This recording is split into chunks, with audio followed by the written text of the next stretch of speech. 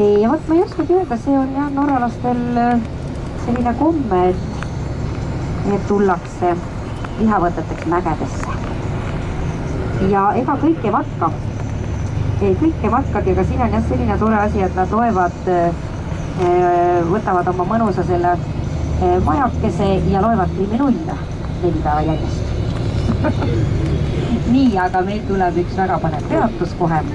nimelt siis äh, Süüsseni tammi juures.